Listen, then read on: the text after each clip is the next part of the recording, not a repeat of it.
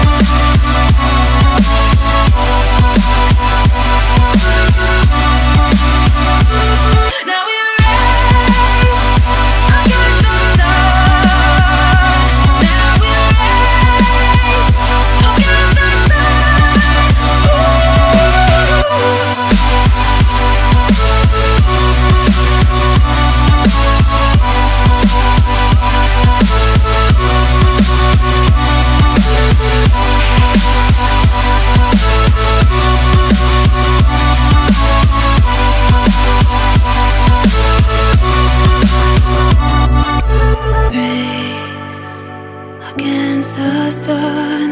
Now we race against the sun.